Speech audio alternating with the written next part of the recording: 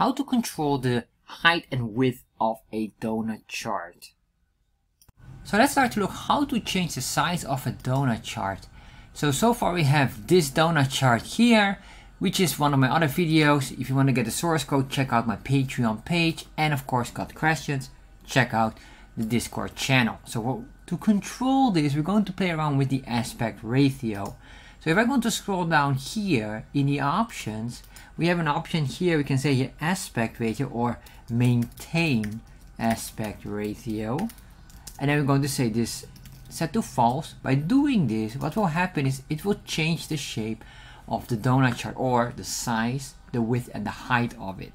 So if we want to play around with it even a bit more further, maybe we don't want this specifically, but we want to control instead of a rectangle, which is the default, let's say that refresh, there we are. Or sorry, this is a square, but we want to convert into a rectangle.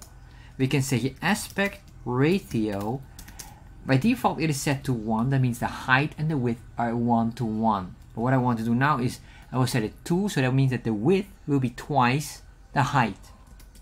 So if I save this, refresh, we get this here quite similar. However, we could change this by making it even more narrow or longer, as you can see here.